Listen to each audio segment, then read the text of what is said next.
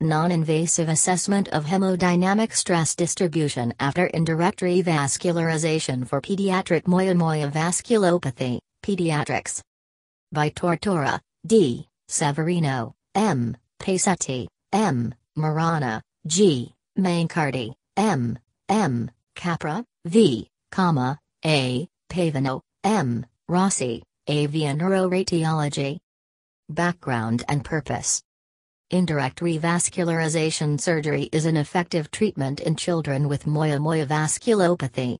In the present study, we hypothesize that DSCPWI may reliably assess the evolution of CBF related parameters after revascularization surgery, monitoring the outcome of surgical pediatric patients with moyamoya vasculopathy. Thus, we aim to evaluate differences in DSCPWI parameters, including the hemodynamic stress distribution, in surgical and non-surgical children with moyamoya vasculopathy and to correlate them with long-term postoperative outcome.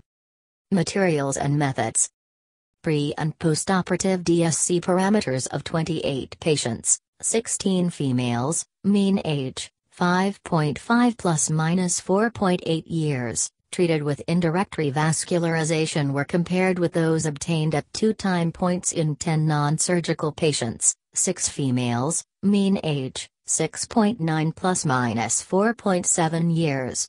We calculated four normalized CBF-related parameters and their percentage variance, mean normalized CBF of the MCA territory, mean normalized CBF of the proximal MCA territory, mean normalized CBF of cortical the MCA territory, and hemodynamic stress distribution.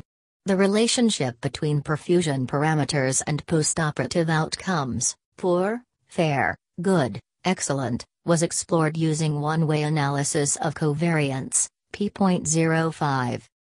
Results a significant decrease of the mean normalized CBF of the proximal MCA territory and hemodynamic stress distribution and an increase of the mean normalized CBF of the cortical MCA territory were observed after revascularization surgery, p.001. No variations were observed in non-surgical children.